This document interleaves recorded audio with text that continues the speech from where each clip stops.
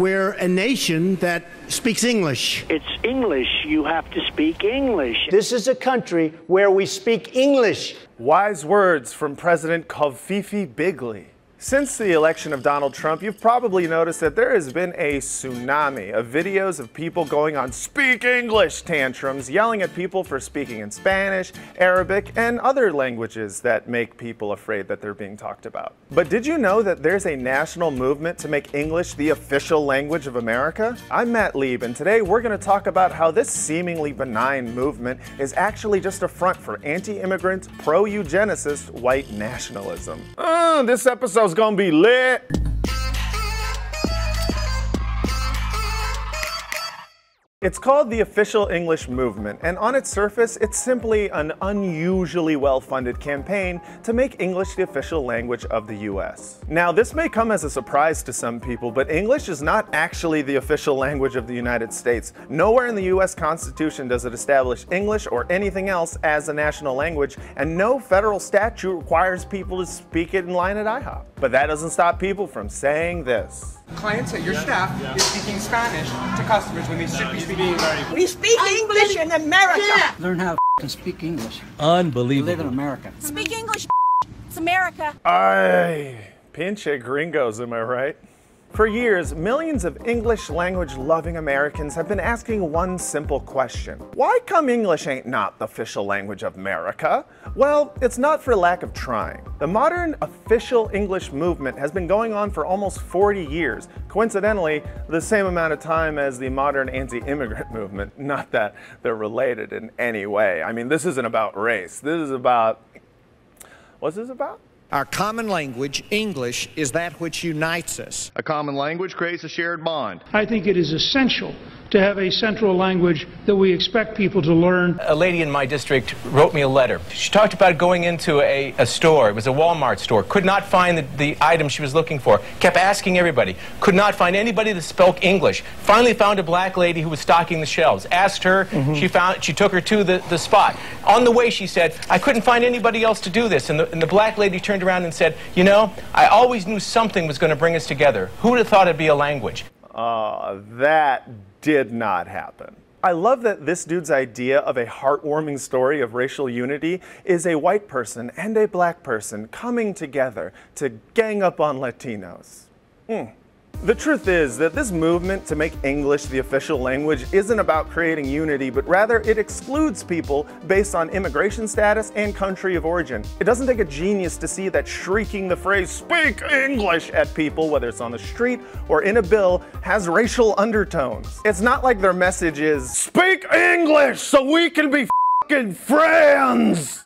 That's why it shouldn't come as a shock to anyone that the politician behind all the recent federal official English bills is Congressman Steve King, the Cesar Millan of racist dog whistles. You might remember him from such hits as saying this about Mexican immigrants. You got calves the size of cantaloupes because they're hauling 75 pounds of marijuana across the desert. Or this about Western civilization. You cannot rebuild your civilization with somebody else's babies. You've got to keep your birth rate up. Or this about our former president. We have a very, very urban senator, Barack Obama. Ooh, he really hit a hard R on urban, didn't he? Yeah, that guy is the same guy who has introduced the English Language Unity Act every single congressional session since he took office. The bills, which have never passed, would require the government to print information in English only, require Congress to do business in English only, and make speaking English a bigger part of becoming a citizen than it already is. See, King and others claim that this will encourage immigrants to learn the language, but correct me if I'm wrong, immigrants are already uber aware that learning English in America is important. Not offering any translation services or having English only voting ballots and IRS forms only makes life harder and ensures a de facto second class status for new immigrant populations, which these days happen to be from Latin America. But I'm sure that's just a coincidence. Again. Of course, these official English politicians claim it's not about race, and they never miss a chance to compare the experiences of their European ancestors to the plight of immigrants today. My grandmother came from Germany. She sent my dad to kindergarten speaking only German. When he came home from his first day in school, he said hello to his mother in German, and she turned to him and said, Speaking German in this household is for you from now on verboten. It's going to be hard to not speak a little bit of German in kindergarten. I promise you, Mutter, I will no longer speak German in child garden. Official English advocates often talk about assimilation, but this idea that immigrants from Latin America aren't assimilating into the culture because they are not learning English is backed up by zero facts. In fact, studies show that Hispanic immigrants pick up language as quickly as in the days of Steve King's grandma, not because it's law, but because it's how you survive in this country. King puts a lot of emphasis on assimilating into the culture, and he tests that in a very interesting way. I've given speeches at naturalization ceremonies. I like to go there. I like to welcome new Americans. But I can notice if I tell a joke, who laughs and who doesn't. Those that don't understand English don't laugh at those jokes, but they're being sworn in as American citizens. Yeah, that's the reason your jokes are bombing. You know his jokes are probably like, okay, so a Polak, an Oriental, and a Spanish walk into a bar. Because it's a jail. Wow, tough crowd. Security? What's crazy is that despite the obvious racist messaging of the official English lobby, this movement has gained a lot of ground. In fact, chances are you probably live in a state that made English its official language. 32 states have done so, including liberal Massachusetts and California.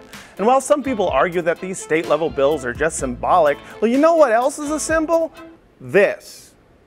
Okay, I know some of you right now are thinking, oh my god, just because one racist politician supports official English doesn't mean that the whole movement is racist. You leftists are all the same. You think everyone's a Nazi. Well, I just want to say this. I don't think everyone's a Nazi, all right? In fact, when our producer Kate pitched us this piece, I was like, finally, I get to host an episode of this show that's not about Nazis.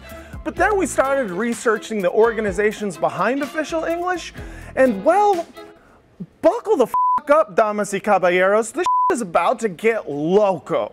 The two largest organizations in the official English movement are called US English and Pro English, and they were both founded by a sweet looking old man named John Tanton. John Tanton founded US English in 1983 and Pro English in 1994, but before that, he founded an organization called FAIR, the Federation for American Immigration Reform, a group that's been behind, among other things, a push to end sanctuary cities and that 2010 Arizona bill that allowed police to arrest people on the suspicion of being undocumented also known as the Papers, Please bill. Tanton also founded the Center for Immigration Studies, which exists solely to produce dubious studies furthering his anti-immigration agenda. He's funded or founded 12 other anti-immigrant groups, six of which have been designated as hate groups by the Southern Poverty Law Center, including FAIR and Pro-English. Now, I'm not saying that John Tanton is a Nazi, but he has founded an unusual amount of hate groups. Like, even Hitler only founded one. And Tanton has said a lot of vile things over the years. He once warned about the coming Latin onslaught, and he's corresponded with prominent neo Nazis talking about the problems of Jewish opposition to his ideas, and he once even wrote this Can Homo contraceptivus compete with Homo progenitiva? What he was suggesting with those fake Latin words is that there are different human species those who reproduce a lot and those who don't. Which are you? I'm the one who f***s. High five. He's also into, wait for it, eugenics. That's right, eugenics. The Nazi practice of selective breeding with the aim of race betterment. Apparently, he was so into eugenics and population control that he even went so far as to found local chapters of Planned Parenthood. Now, there are a million reasons to support Planned Parenthood, but population control is by far the most up one.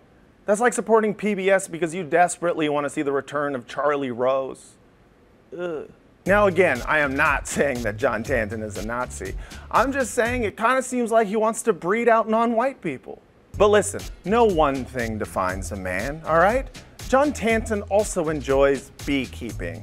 And how can that be anything but wholesome? Beekeeping it sort of fits in one of my other prime interests, which is the population conundrum that's faced by humanity. But the thing we don't notice about human population that we see in the beehive is that there's an exponential decrease toward the end of the year. This time of year, the worker bees are throwing the drones out to starvation and death. So it's a cyclical thing that's normal and uh, raises interesting questions about the human enterprise. Oh my god. All right, for those of you unfamiliar with bee lingo, a drone is a male worker bee whose primary goal is to make bee babies. So basically Tanton is saying that we should mimic the population control techniques of beehives by throwing out the ones who breed too much, which to him looks less like this and more like this. Again, I'm not I'm not. I'm sorry, he's a Nazi. He's like an actual Nazi. I did not know beforehand that he was gonna be a Nazi. I, I didn't want him to be a Nazi. I, some people aren't Nazis, and that's good. But like, John Tanton is a Nazi. Well, the good thing about him being an obvious Nazi is at least there's no possible way that even right wing media would have his organizations on to legitimize him, right? For the Center for Immigration Studies, Jessica Vaughan. Jessica, thank you so much for being here. Bob Dane is Communications Director of the Federation for American Immigration Reform.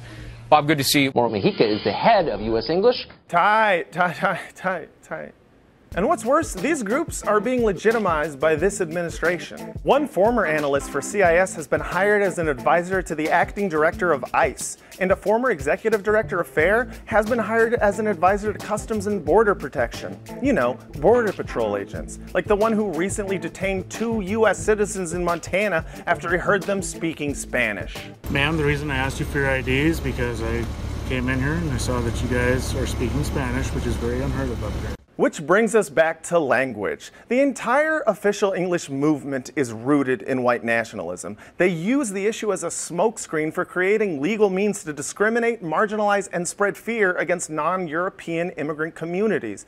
They don't care about English. If they did, they'd know that we've never spoken only English in America. In fact, American English is full of words from other languages. Don't believe me? Let's do a quick rewind to see how some of the words used in this very video came from other languages. Tsunami, shock, cliche, episode, Uber, they, person, dollars, encourage, ballots, zero, leave, Montana, Massachusetts, California. Cantaloupes, kindergarten, verboten. Xenophobe, Nazi, America. America. America. America. Also, shampoo.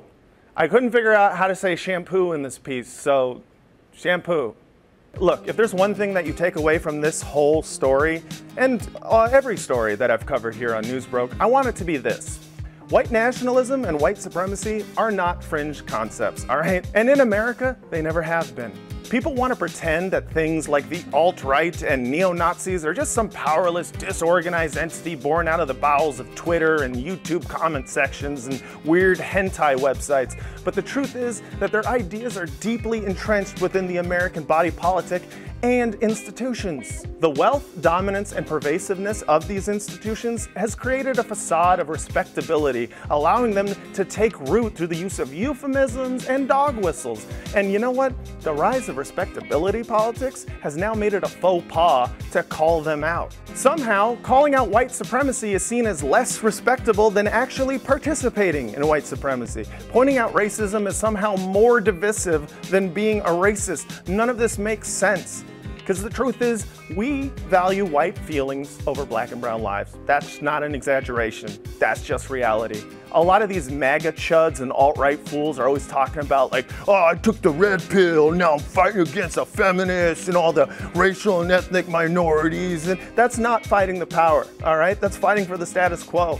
That's the blue pill all right? The actual red pill is seeing that the Matrix is filled with white supremacy. And being Neo or Morpheus means dismantling it. So you gotta call it out.